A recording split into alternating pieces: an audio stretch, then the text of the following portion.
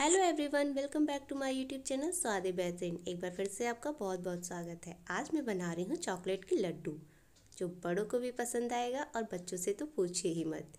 तो देखिए, बहुत ही कम समय में, बहुत ही कम सामान से फटाफट से बन जाएँगे ये हमारे लड्डू, जो देखने में भी बहुत अच्छे लगते हैं और बहुत ही कम सामान में बन जाएँगे। तो चलिए हम शुरू करते हैं अपने आज के चॉकलेट लड्डू की रेसिपी को। इसके लिए मैंने ले लिया है मूँगफली, ये भुनी हुई है। और मैं ले रही हूँ ओरियो बिस्किट। आप चाहें तो इसकी जगह और दूसरी कोई भी क्रीम क्रीम की बिस्किट यूज़ कर सकती हैं। ये तो मुझे कम लग रही है, मैं दो चार बिस्किट और ले लेती हूँ। तो ये देखिए, हमें इसे ग्राइंड करना है। अब मैं इसे ग्राइंड कर लेती हूँ। बढ़िया सा एक पाउडर की तरह हम इसे ग्राइंड कर लेंगे। तो ये देखिए इस तरह से हमें ये पाउडर मिल गया। अब मैं इसमें एक ओरियो बिस्किट को बिल्कुल छोटे छोटे टुकड़ों में करके डाल दूँगी। इससे हमें एक क्रंची सा ना कैरेमल वाला टेस्ट आएगा हमारे लड्डू में। बहुत अच्छा लगता है। अगर आपको नहीं करना, आप इसे स्किप भी कर सकते हैं।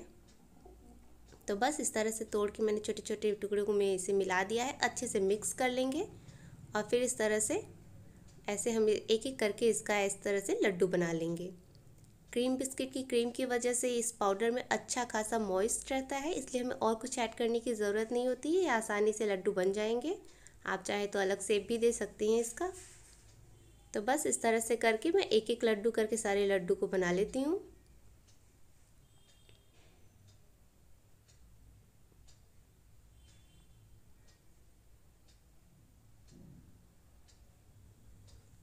तो ये देखिए, हमारे लड्डू बनकर रेडी हैं। ये ले लिया है मैंने डार्क चॉकलेट जिसे मैंने मेल्ट कर लिया है। आप चाहे अवन में मेल्ट कर सकते हैं या फिर डबल बोल मेथड से मेल्ट कर सकते हैं। और फिर इसके बाद सारे लड्डू को मैं एक एक करके इस तरह से चॉकलेट में डिप करूँगा, करूँगी और एक बढ़िया सी थिक कोटिंग करनी है हमें अपने लड्डू के ऊपर, इस तरह से। और ये बहुत जल्दी ही ड्राई भी होने लगते हैं और सर्दियों के मौसम में और जल्दी ड्राई होंगे। तो बस इसे हाल, हल्के हाथों से आसानी से रिमूव कर देंगे, नीचे रख देते हैं। बस बाकी के और सारे लड्डू भी मैं इसी तरह से कोटिंग कर देती हूँ। बहुत ही कम समय में बहुत ही टेस्टी लड्डू बन के रेडी होते हैं। बिल्कुल मार्केट जैसा लगेगा आपको ये। बच्चे तो बहुत ही खुश हो जाएँगे। तो ये देखिए, हमारे लड्डू बनकर बिल्कुल रेडी हो गए हैं।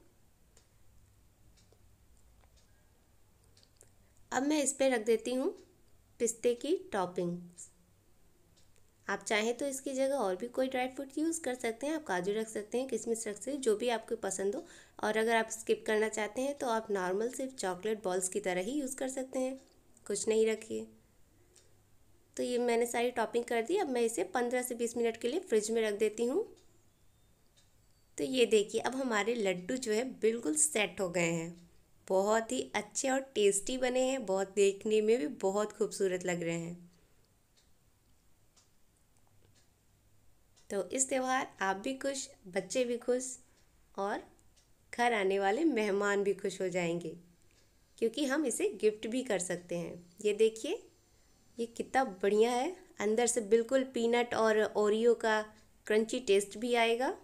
बाहर से चॉकलेट।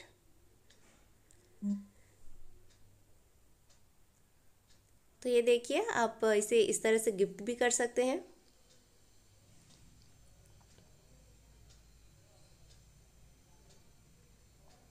तो 10 मिनट में बनने वाले लड्डू हमारे रेडी हो गए हैं।